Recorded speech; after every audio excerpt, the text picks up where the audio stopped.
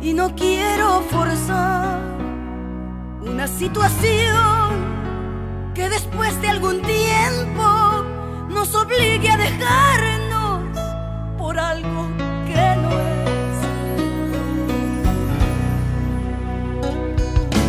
Sé que no tengo por qué obligarte a sentir algo diferente porque en ti solo